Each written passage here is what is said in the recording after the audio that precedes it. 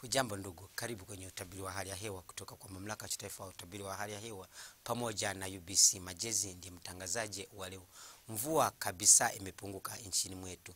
Leo asubuhi tulipata sanamu za satelaiti zinaonyesha kwamba hali ya mawingu ilikuwa inazunguka sehemu za Ziwa Victoria pamoja na magharibi mwa nchi, lakini zile zimepigwa kwa Afrika zinaonyesha kwamba mkanda wa mvua inaenewa kwa eneo kubwa kwa kuwa shinikizo la juu ambao liko kwa Atlantika na kwa bahari ya Hindi zinapunguka zina kwa nguvu ambao zinaletea mkana wa mvua eneo kwa eneo kubwa, lakini zile za juu ambao ziko kwa jangwa la Afrika zinasukuma hewa ya vumbi ambayo inaleta vumbi nchini mwetu. Hebu tuone kwamba kesho asubuhi tunatarajiaje. Kuzungukazwa Victoria, tunatarajia hali ya, mamo, ya mawingu, lakini sehemu nyingi ya nchi itakuwa jua kali.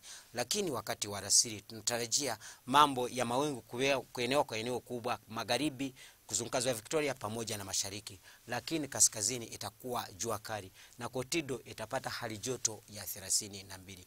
Wacha tuone miji kadhaa dunia Afrika tunatarajiaje. Sehemu za Addis Ababa tunatarajia mawingu, Chigari pamoja na Nairobi tunatarajia mchanganyiko wa mvua kali pamoja na radi, lakini miji kadhaa duniani tunatarajia sehemu za Dubai kuwa ya mawingu, Paris pamoja na London itakuwa hali ya mvua ya rasharasha, Washington itakuwa mawingu. Asante kwa nasi, tuonane hadi mwingine. Ubarikiwe na kwaheri.